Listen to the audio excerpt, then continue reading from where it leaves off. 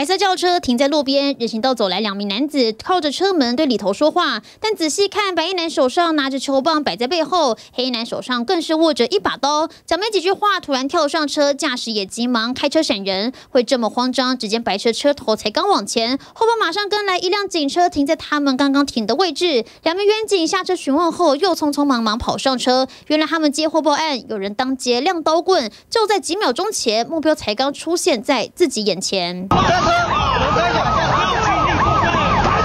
一路追赶到下个路口，对方被卡在红灯，团团警力冲上前把人拉下车。先拔下。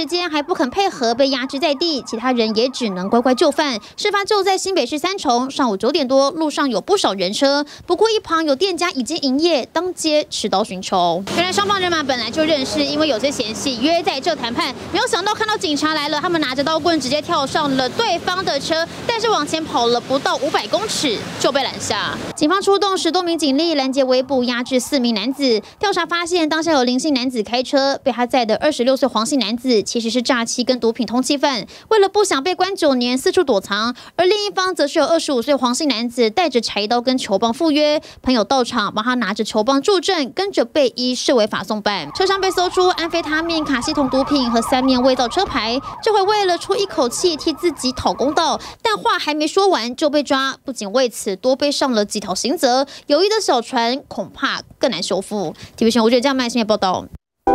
想看最完整的新闻内容，记得下载 TVBS 新闻网 APP。